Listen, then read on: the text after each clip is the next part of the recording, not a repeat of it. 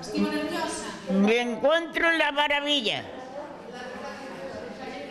He querido ir las persoas que non queren comer a vacina, Nieves. Que lle diría que no, a xente?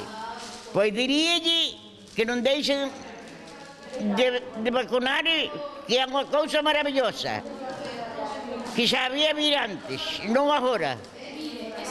Moita xente non quero levar a vacuna, só sei.